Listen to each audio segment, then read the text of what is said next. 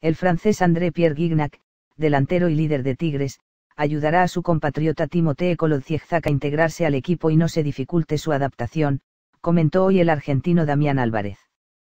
Kolodziejczak, quien procede del Borussia Mönchengladbach alemán, llegó este martes, día del cierre de registros en el balompié azteca, para reforzar al equipo para lo que resta de la apertura 2017 junto con el colombiano Larry Vázquez y el estadounidense Eduardo Fernández. Pienso que, el apoyo de Gignac, es una ayuda extra fundamental, dijo Álvarez en conferencia de prensa. Será bueno que él, André, que conoce las costumbres, que tiene varios años en el equipo y que conoce perfectamente la dinámica del club, lo que se pretende como ideales y lo ayude, añadió.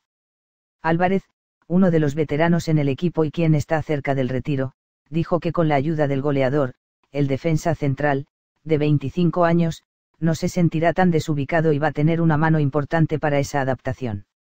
Koulow, como es llamado el zaguero, llegó este martes a esta ciudad y antes los medios aceptó que la presencia de su compatriota Gignac, es jugador del Olympique de Marsella, fue una fuerte influencia para que él llegara al fútbol mexicano.